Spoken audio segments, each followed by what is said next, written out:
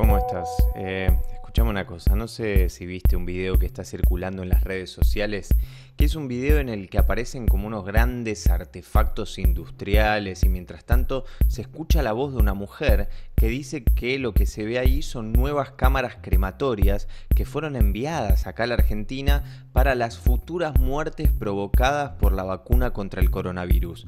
Bueno, esto es mentira.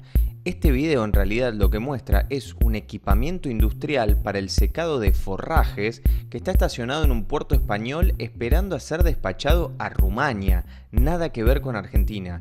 Y de hecho en el sitio de la empresa que lo fabrica se puede ver que el equipo que aparece en el video es un generador de aire caliente y no un crematorio. Así que cuando te llegue ese video no te creas lo que dice el audio porque no es lo que aparece en las imágenes.